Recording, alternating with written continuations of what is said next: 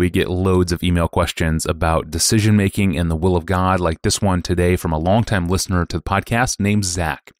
Pastor John, please help me.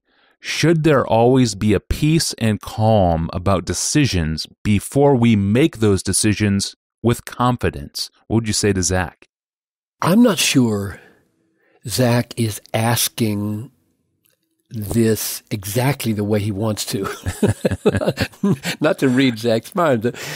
I could be misunderstanding. It sounds like he wants to know whether he can choose, quote, with confidence that something is right to do if he doesn't have peace and calm before he chooses. But acting with confidence, uh, by its very nature, it seems to me, implies the conscience is clear.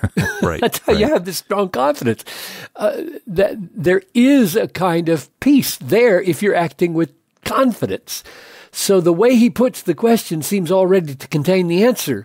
You can only act with confidence if your action is untroubled by doubt and guilt.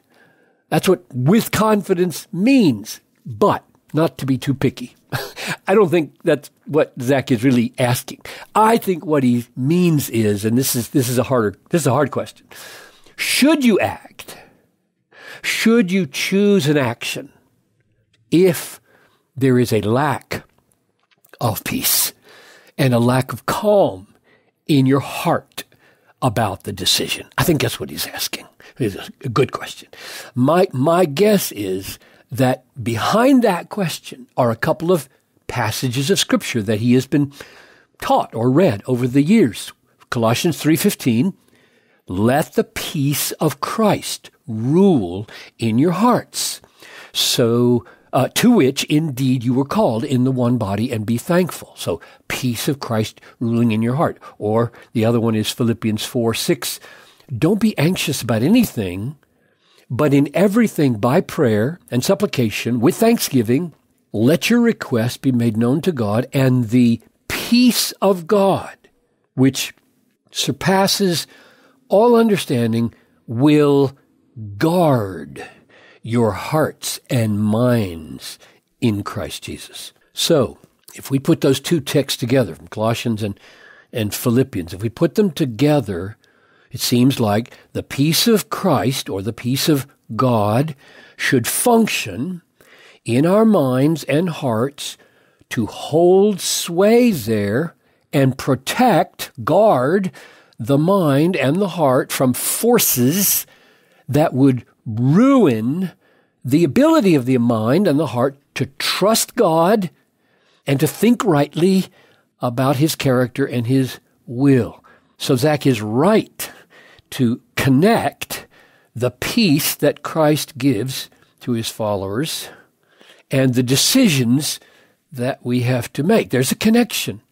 So the question now remains, and now it has some biblical support behind it to make it all the more crucial. Should we act? Should we choose an action if there is a lack of peace or a lack of calm in our heart about the decision? And let me make just several observations to point to an answer. Number one, what Paul does not say in those two texts is that peace and calm are the only factors in determining what one ought to do. The point of peace ruling in the heart is not to help you decide whether to obey explicit commands of the apostle. For example, when Paul says in Romans 12, 14, bless those who persecute you.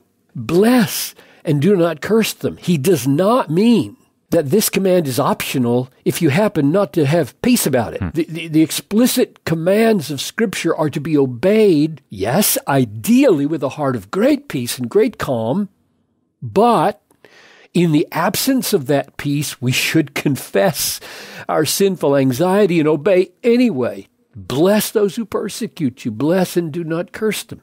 So that's the first observation. Here's the second one. When it comes to choices that are not explicitly commanded or prohibited in Scripture, but depend on wisdom in the situation, the state of our hearts and our minds, the presence or absence of peace and calm do matter. For example, Paul said in Romans 14:23, whatever does not proceed, whatever behavior does not proceed from faith is sin. Now I think that means if you act against your conscience, even if what you do is not objectively wrong, it is sin hmm. for you to do it. And so, insofar as peace and calm are missing as a fruit of faith, when you have doubts about a decision, then going ahead with the decision is sin. And let me just throw out a recommendation here for a book uh, by Andrew Naselli and J.D. Crowley called Conscience, who tackles that kind of thing.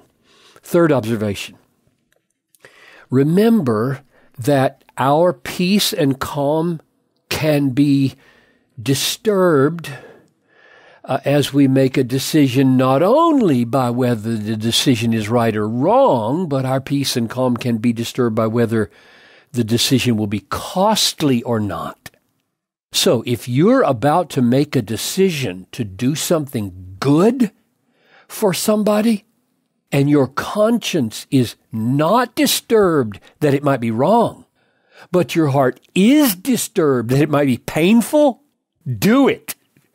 Lack of peace over possible danger and lack of peace over possible sinning are not the same. Hmm. Last observation. It is always right to be free from anxiety, if you can be. You should be.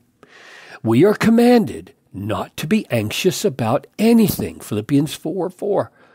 We will not arrive at this perfect state in this life. That's my view of sanctification. We should have perfect peace all the time. We don't, and we won't. But we should fight for it, pray for it, aspire to it.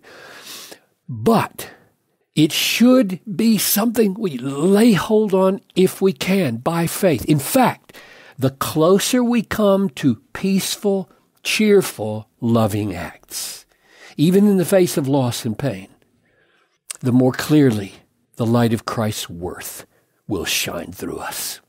Amen. And that's why we exist to reflect the worth of Christ to the world, imaging, reflecting the perfect image. Thank you, Pastor John. Well, over at our online home, you can explore all 1,250 of our episodes, scan a list of our most popular ones, read full transcripts, even send us a question of your own. Go to desiringgod.org forward slash ask Pastor John. And uh, to get new episodes delivered to you three times per week, you can subscribe to the Ask Pastor John podcast in your favorite podcast app. Well, we love to proclaim the truths of Christian hedonism, the idea that God is most glorified in us when we are most satisfied in Him. But how do we parent our kids to understand these precious truths at an age appropriate level that they can understand?